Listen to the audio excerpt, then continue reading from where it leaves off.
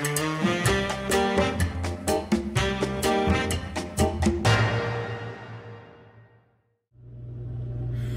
y'all, it's Chassie and I'm back with a super simple keto friendly dinner.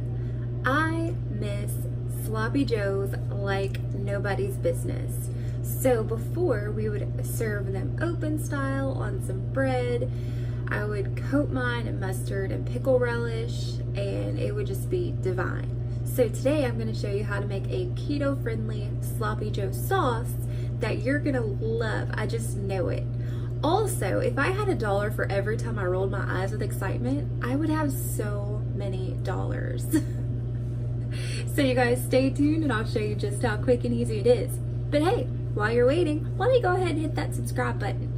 Hit the bell so you'll be the first one to know when I make new content.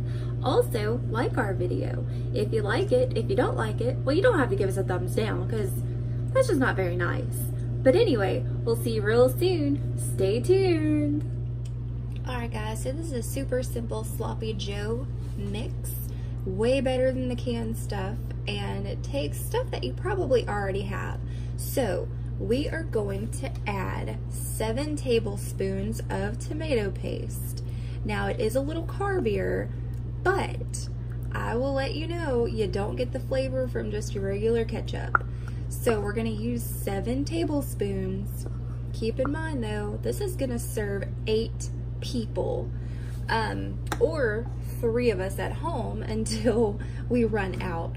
So seven tablespoons tomato paste. We're gonna use one tablespoon of your minced onion, which is your dry onion flakes.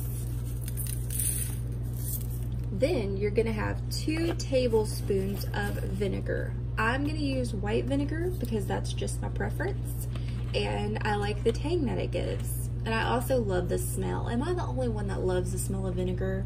Comment down below and let me know that I'm not the only crazy person out there. So like I said, two tablespoons of vinegar. We're gonna do one tablespoon of Worcestershire mm -hmm.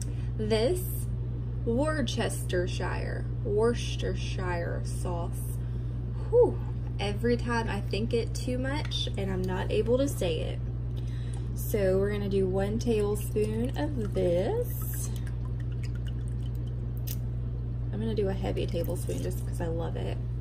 And then we're gonna do a teaspoon of Dijon mustard. I'm not a fan of Dijon, but in this and a few of, of my recipes, y'all, I cannot talk today. If you'll notice there's silence, both of my babies are napping and so I'm not fussing at a child, so I don't know what to do now. so about a teaspoon of Dijon. And because I like my sloppy joes to be really tangy, I'm gonna use some yellow mustard as well. About a teaspoon, give or take. Okay, so what you're gonna do is you're gonna mix this up really well.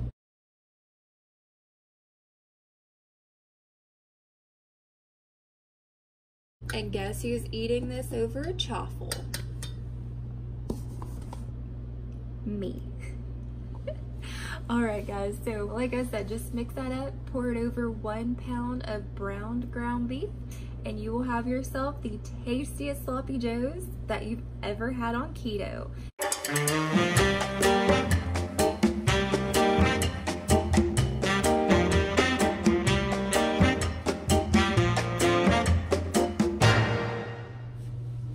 All right, guys, you know your girl loves her chaffles. So we've got one egg. To that, I'm gonna put a little salt and pepper.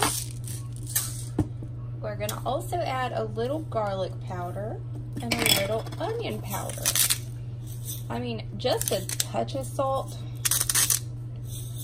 And we're gonna whisk it up really well.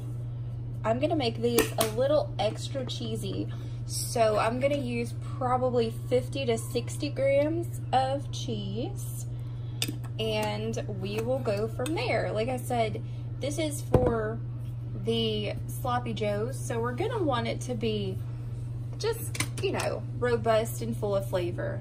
Robust, because I'm a chef. Good Lord. Thank y'all for being here. So anyway, we're gonna mix this up and I'm gonna show you guys how we chaffle.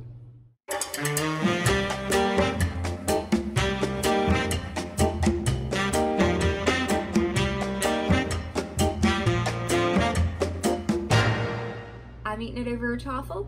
You guys let me know what you're gonna eat it over. We'll see you real soon. Bye y'all.